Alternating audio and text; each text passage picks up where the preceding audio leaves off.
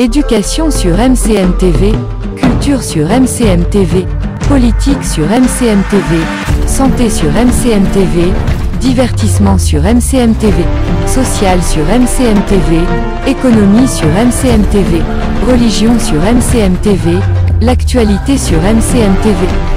MCM TV, votre chaîne L'actualité en temps réel. Honorable député Monsieur le secrétaire général de l'APROSI, par ailleurs membre de la CCR de l'APR, maa ngi nuyu ñëpp. Di sant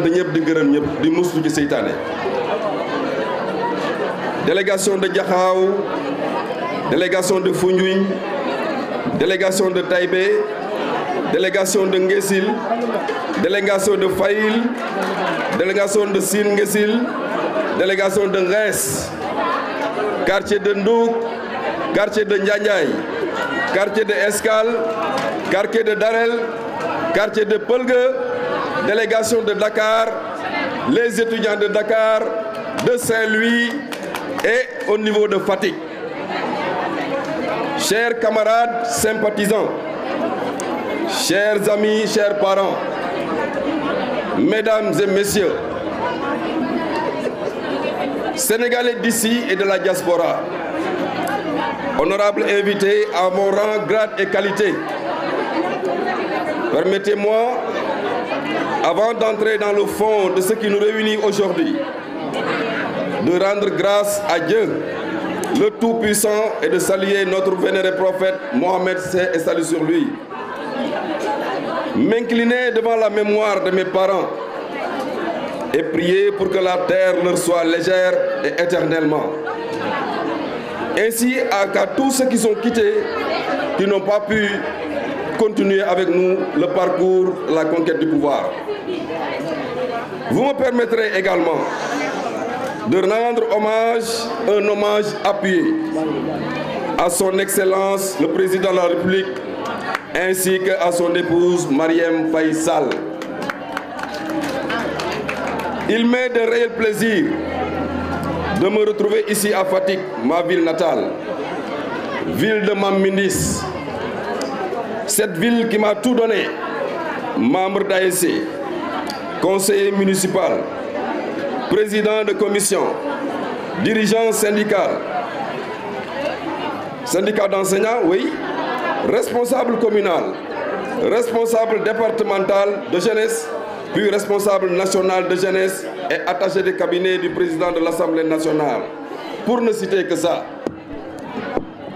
Et donc, me retrouver ici à Fatick, ma ville natale, pour prononcer cette allocution à l'occasion du lancement de notre mouvement, mouvement national des valeurs intègres, sociales et africaines, mon visa.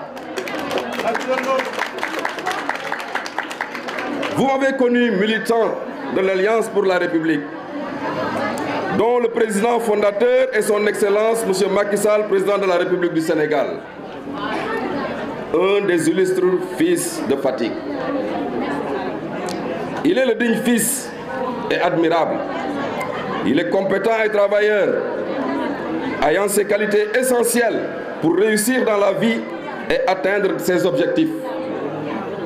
L'homme Macky Sall possède des connaissances et des compétences nécessaires pour accomplir ses tâches avec efficacité. C'est une qualité précieuse car elle permet d'apporter une contribution significative dans tous les domaines de la vie, que ce soit sur le plan professionnel ou personnel. Il est pour moi cet homme exceptionnel qui a su transformer positivement le visage du Sénégal en l'espace de 12 ans, que de plutôt construit, que de lycées scientifiques et d'universités créées, combien de kilomètres de routes et d'autoroutes pour combattre l'isolement interne dans, une, dans un Sénégal le même? Peut-on occulter la prise en charge de la mobilité dans la capitale, Dakar, avec l'avènement du TER et du BRT Air Sénégal, une compagnie aérienne nouvellement mise en place et qui a fait la fierté de tout un peuple. Qu'en est-il de l'électricité et des énergies renouvelables, sans oublier l'augmentation des salaires, les bourses familiales, la couverture maladie universelle, son attachement à l'autosuffisance alimentaire et les investissements inouïs dans l'agriculture en sont une parfaite illustration. Le président Macky Sall s'est battu pour la renaissance de l'industrialisation au Sénégal. Et c'est ce qui lui a valu le sobriquet de champion de l'industrialisation, champion de l'industrie.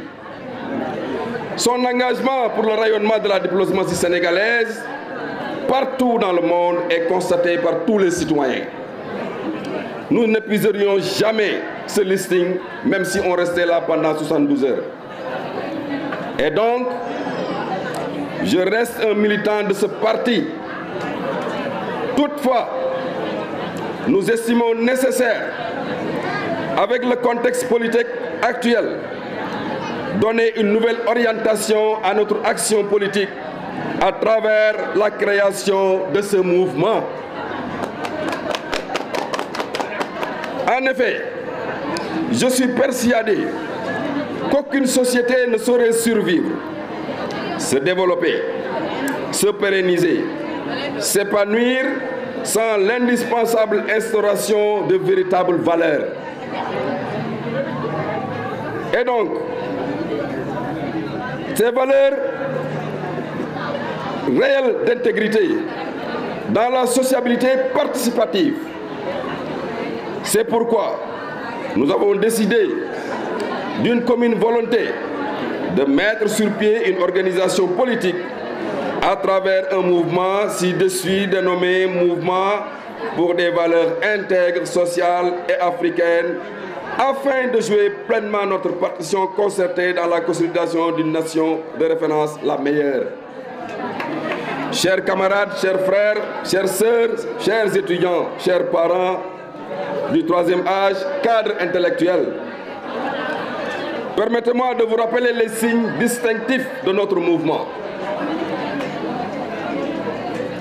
qui s'engage à participer à la promotion des valeurs sociales et d'intégration africaines pour la consolidation, l'unité dans la paix et le développement harmonieux afin que nul n'en ignore.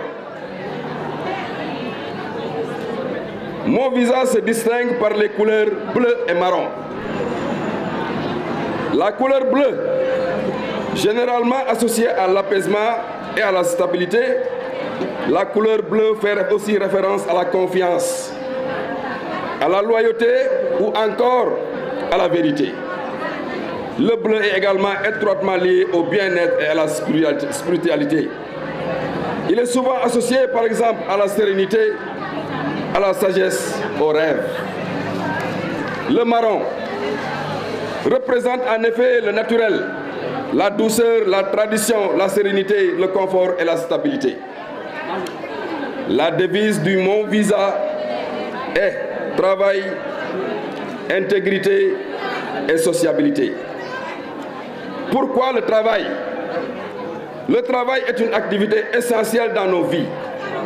Il nous permet de subvenir à nos besoins matériels, de contribuer au rayonnement de la société, au développement de nos compétences et de trouver un sentiment d'accomplissement personnel. Le travail peut prendre différentes formes, qu'il s'agisse d'emplois rémunérés, de projets personnels, de bénévolat ou d'activités créatrices de revenus. Il existe une grande diversité de métiers et de secteurs d'activité, ce qui permet aux individus de choisir une carrière qui correspond à leur intérêt, à leur talent, à leur objectif. Pourquoi on a parlé d'intégrité? L'intégrité est une valeur fondamentale qui renvoie à la qualité d'une personne, qui permet d'agir de manière honnête avec équité, intégrité, quelles que soient les circonstances. Cela implique l'adopter une conduite morale, le respect des principes et des normes établies et faire preuve d'honnêteté et de tolérance entre les paroles, les actions et les convictions. L'intégrité se manifeste par le respect des engagements, des contrats et des promesses ainsi que par la capacité de prendre des décisions basées sur les principes d'éthique, même si elles sont parfois difficiles ou impopulaires. Elle est également la transparence dans les interactions avec les autres et la responsabilité de ses propres actions. L'intégrité est essentielle dans de nombreux domaines de la vie, qu'ils soient des relations personnelles, professionnelles ou sociales. Au niveau professionnel, les employés intègres sont fiables, dignes de confiance et respectés par leurs collègues et leurs supérieurs hiérarchiques.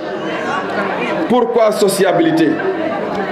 La sociabilité est la capacité d'une personne à interagir harmonieusement avec les autres et à se comporter d'une manière appropriée dans les contextes sociaux variés. C'est une compétence sociale qui implique l'établissement des relations positives de communication efficacement et d'adaptation aux dynamiques sociales. Être social n'est pas seulement être extraverti ou parler beaucoup. Cela signifie plutôt être ouvert à l'interaction sociale, se montrer attentif aux besoins et aux sentiments des autres et être capable d'établir les liens authentiques. La sociabilité, c'est être en mesure d'exprimer ses idées clairement, d'écouter attentivement les autres, de poser les questions pertinentes, être action constructive, mais également avoir la capacité de nouer et de maintenir les relations positives. L'emblème, l'emblème de mon visa, c'est l'aigle, l'aigle. L'aigle est un animal qui semble vivre au-dessus de la terre, loin de l'homme et de ses problèmes. Mais depuis le ciel, ce guide spirituel surveille le monde grâce à sa vision perçante. Vous avez eu convenance à solliciter mon concours à la présidence de ce mouvement qui condense toutes ces valeurs. Et je vous en remercie vivement. J'assumerai donc ce nouveau statut en conduisant nos projets politiques, mais aussi socio-économiques sur la voie du succès de la confirmation des étapes déjà franchies par notre déploiement, aussi bien au niveau national qu'international, qui s'accompagnera de notre participation effective aux joutes électorales dont je ferai mon cheval de bataille. Je voudrais préciser que jusqu'ici, notre ancrage reste le Benno Bokuyakar. Et exprimer ainsi mon soutien, notre soutien passionné à notre candidat, le Premier ministre Amadou Ba. En lui, nous trouvons la personne dotée de la vision, de l'intégrité et de la détermination nécessaires pour conduire notre communauté vers de nouveaux horizons. Son engagement envers les valeurs qui nous tiennent à cœur est indéniable. Et son expérience démontre sa capacité à faire face aux défis qui se présentent et qui se présenteront à nous. En tant que citoyens responsables, nous avons la responsabilité de choisir des dirigeants qui incarnent le changement que nous souhaitons. Notre candidat est le catalyseur de ce changement positif. Je ne ménagerai pas ma peine pour faire prospérer son projet politique, notre projet, et je ne trouverai point de repos avant d'avoir placé cette candidature à la tête de ce pays pour qu'il devienne le cinquième président du Sénégal. À ma qualité de leader du mouvement, je saisis l'étendard qui nous réunit aujourd'hui pour vous dire que j'adopterai une attitude démocratique, consensuelle, participative, afin que notre organisation, soit un modèle de résistance aux événements tels qui ont frappé et occasionné la dislocation de plusieurs entités. Ce qui explique le choix des valeurs partagées. Je voudrais vous dire merci à chacun d'entre vous qui avait voulu me témoigner l'amitié, la confiance, me prêter les qualités indispensables au succès de notre organisation. Vous qui partagez avec moi la certitude la, que la clarté et la transparence valent mieux que toutes les roublardises plus ou moins mêlés d'imprécisions dont seuls savent s'entourer les médiocres, je veux vous dire aussi qu'aucune organisation ne pourra tenir devant le mont Visa. Il faut savoir dire et redire que notre mouvement a su allier les valeurs d'un monde moderne et celles africaines héritées de nos ancêtres. Je vous promets de les continuer sans relâche. Je vous promets de veiller à la progression avec la force tranquille d'un dirigeant digne de vous. Merci chers camarades et sympathisants. Je remercie toutes ces personnes qui ont soutenu et aidé notre initiative à voir le jour. Il s'agit des étudiants, des jeunes filles, des jeunes garçons, des femmes, des personnes du troisième âge, qui ont toujours été emphatiques et qui, et qui sans s'en apercevoir, ont été les plus à nous encourager. Il n'est jamais facile de créer et d'innover dans un domaine aussi complexe que la politique. Et c'est aussi cela, pour cela que je souhaiterais remercier tous les membres de notre mouvement. Je peux vous promettre de toujours vous laisser le champ libre pour concevoir, proposer et innover. Cela nous aide à être plus à l'aise dans les différentes conquêtes électorales et nous permettre d'évoluer dans les conditions d'une sereine face aux défis quotidiens des organisations politiques. Nous ne briserons jamais vos efforts. Si j'ai eu l'idée de lancer ce mouvement, ce mouvement, c'est parce que j'ai toujours aimé la politique. Je suis d'ailleurs membre fondateur de l'Alliance pour la République, organisation avec laquelle nous avons accédé à la magistrature suprême et qui m'a donné l'opportunité d'être conseiller spécial du directeur général de l'APEX, collaborateur du ministre de la Promotion des investissements et des partenariats, collaborateur du ministère de l'Habitat en son temps. Avant que son Excellence le Président de la République ne prenne un décret mon nommant président du conseil de surveillance de l'agence d'aménagement et de promotion des sites industriels. Je ne saurais terminer sans adresser mes vifs remerciements à toutes les personnes au rang desquelles, le premier desquels, ma famille. Ma famille, merci beaucoup, sans distinction. Mes oncles, mes frères, les sœurs, la grande famille de Boursine Koumondofen, mais également une mention spéciale à ma femme, que je remercie. Ces remerciements vont également à toutes les délégations qui ont eu l'amabilité de nous rejoindre ici à Fatik, mais celles qui n'ont pas pu faire le déplacement faute de moyens. Je vais m'interrompre ici, dans ce discours, en ayant une pensée pieuse pour tous les grands responsables politiques d'appartenance diverses qui ont rejoint le ciel et qui ont marqué l'histoire politique du Sénégal et particulièrement celle de Fatik. Je veux citer Tonton El Assar, je veux citer le maire Maki Gassama, je veux citer Feu Jean Kouman Faye, M. Doud Diatara, pour ne citer que cela. Paix à leurs âmes, je vous remercie de votre aimable attention. Éducation sur MCM TV, culture sur MCM TV, politique sur MCM TV, santé sur MCM TV, divertissement sur MCM TV, social sur MCM TV, économie sur MCM TV, religion sur MCM TV, l'actualité sur MCM TV. MCM TV votre chaîne L'actualité en temps réel.